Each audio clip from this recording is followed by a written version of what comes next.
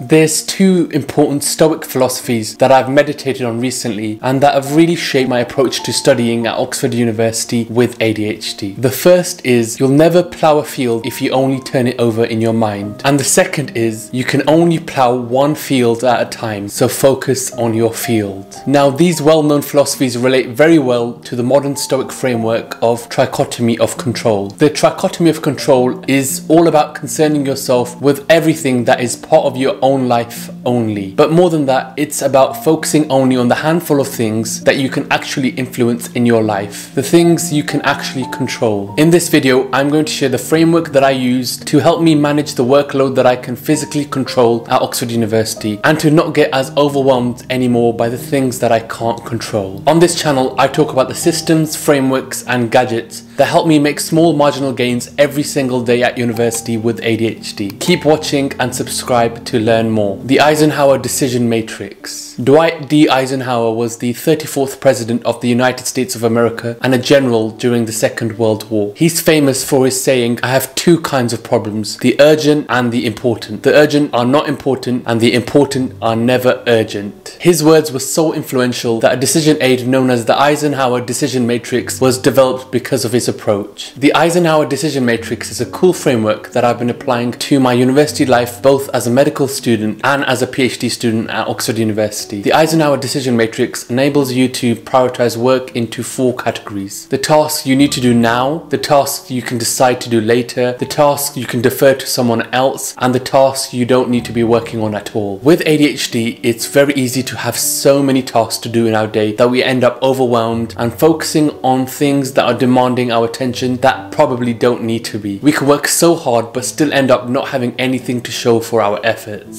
This matrix works really effectively but requires you to have a review day to take control over the small things that are constantly pressing on your time. You can check out some of my other videos which really show some of the strategies I use alongside the Eisenhower matrix to establish order in my life at university. Using the Eisenhower decision matrix the right way. 1 separate the wheat from the chaff. When I'm faced with so many things on my to-do list and find I might become overwhelmed, the first and most important thing I do is to take a step back and look at things from a higher level perspective and characterize things as either urgent or important. I have to decide on what requires my attention now, such that by doing it, everything else becomes easier or possible. These tasks are the urgent tasks that must be done now or there might be serious consequences if I don't do them. And this leaves the other tasks that are also important but can can be done later on because they don't require my attention immediately now. This is one of the significant benefits of the Eisenhower matrix. It provides a no fuss way of prioritizing work and establishing order. By compartmentalizing and finding only the things that I can control now, I'm left feeling less overwhelmed and able to actually work efficiently at university. 2. Account for your time blindness. With ADHD, we can get really excited and overestimate what we can get done. Time blindness is a really big issue at university with ADHD. I find I'm a very poor judge of my fudge ratio and that's the time I think it will take me to do a task compared to how long it actually takes me to do. And because of this, I used to constantly overestimate what I could get done and place unnecessary pressure on myself, procrastinate and importantly under deliver. To use the Eisenhower matrix effectively, it's important to only set yourself a small handful of urgent and important tasks to do. It's far better to set yourself three urgent and important tasks to do now and accomplish three rather than setting yourself 10 things and only accomplishing three. It's also important to mention here how the 80-20 rule is at play in everything we do at university. It's better to focus on the minority of tasks that will generate the majority of outcomes rather than the majority of tasks that only individually generate small outcomes. Simplifying your university life into a handful of tasks you can control will help you feel less overwhelmed. Once you get your important and urgent tasks out of the way, then you'll have the motivation to get through your important but non-urgent tasks. Now, if you're anything like me, I'm highly ambitious and and constantly finding new things at university to get involved with. This often leaves me with too many things in my in tray and I lose sight of actually doing them. These are tasks that are important but not urgent, that align with your university objectives and which you want to work on at some point to advance your goals. But if you're like me and these end up building up in your to-do list and becoming cold tasks, tasks that you're constantly putting off to the next week but never actually end up doing, then it's important to make a final decision on them. The Eisenhower Matrix has helped me massively in taking control of tasks that are in my ecosystem. With tasks that are not urgent but important, there's two important considerations to enable you to do this. The first is having a good sieve to capture these tasks, and the second is actively and consistently reviewing your in tray to decide an action on them. A great app that I've been using is TickTick, which helps me capture ideas and new tasks that come into my ecosystem. TickTick, unlike Todoist and some of the other to-do list apps I've used previously, integrates the Eisenhower matrix by allowing you to schedule tasks as those you'll do later won't do or delete them. What's really helped me is how TickTick keeps a log of all the tasks I won't do and allows me to seamlessly defer tasks and place them under different categories in my life so I can tend to them at another point. What's also been central to doing tasks is having a review day, a zero day. There's no point in having a solid task sieve when you're not actually planning when you're intending to do things. And I found Sundays are the most important day for me with ADHD. Every Sunday I give myself deliberate time to work through my to-do list and